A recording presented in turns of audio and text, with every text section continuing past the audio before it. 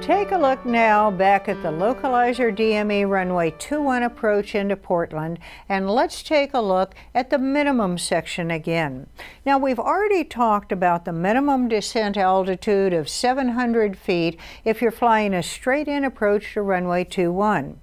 But notice the minimum section also has circling minimums. In this case, for a Category A airplane, the minimum descent altitude is 720 feet MSL. Circling minimums will usually be higher than the straight-in minimums as they are here.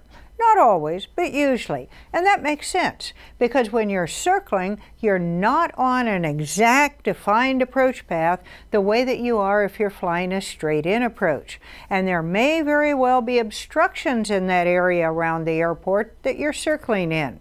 Now here's how the FAA calculates the minimums if you're going to circle to land.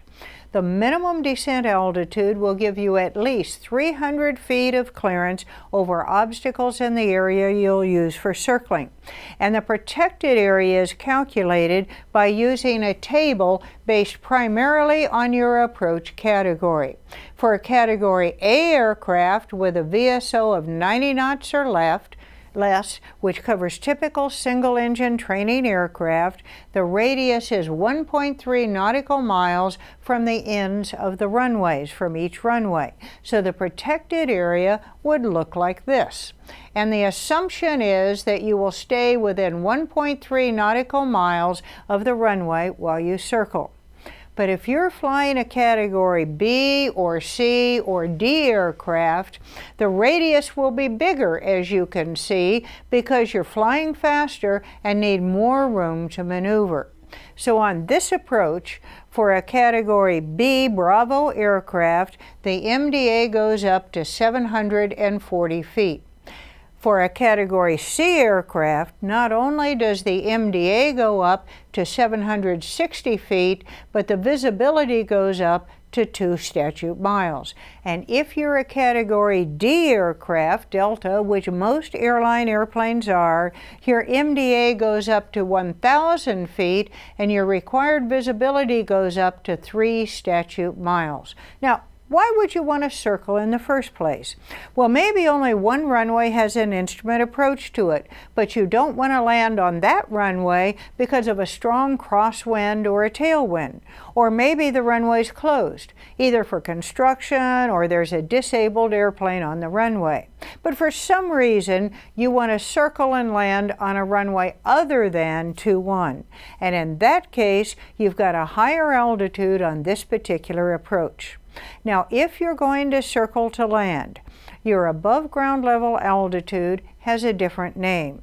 In this case, it's called a height above airport, abbreviated HAA.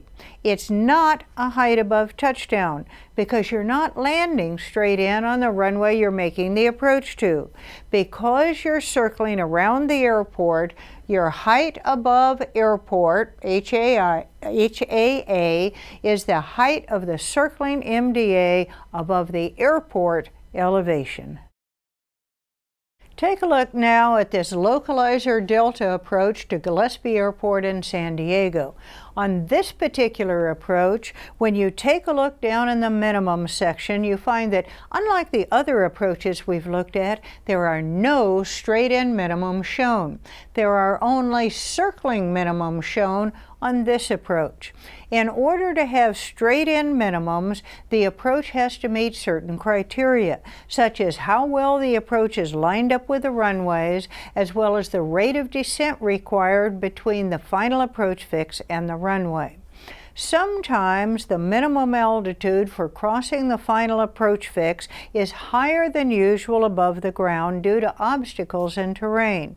In fact, you cross Samos, the final approach fix, at 4,000 feet, which is almost two and a half times higher than normal.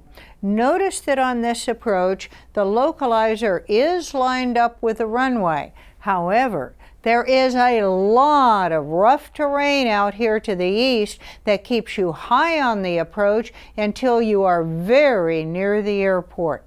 And as you can see in the profile view, the angle of descent from the step-down fix Debbie is 6.88 degrees instead of the normal 3 degrees.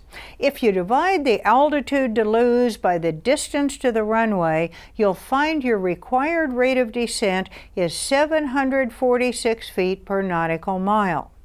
In order to qualify as a straight-in approach, it must be within a 30 degree angle to the runway and the required rate of descent must be no more than 400 feet per nautical mile, no more than that.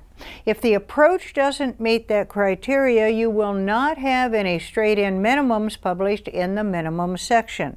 You only have circling minimums published on the approach. But what if you're shooting this approach and you break out of the clouds before you reach that minimum altitude? In other words, you have the runway in sight and plenty of time to descend for a straight-in landing on that runway. Can you land straight in or do you have to circle because there's only circling minimum shown? Well, logically, you can land straight in, provided you've got the runway in sight in time to make a normal approach for landing and you've been cleared to land straight in if there is a tower that's open at the airport. If there's no tower, you don't worry about it. You just fit in with whatever the traffic flow is.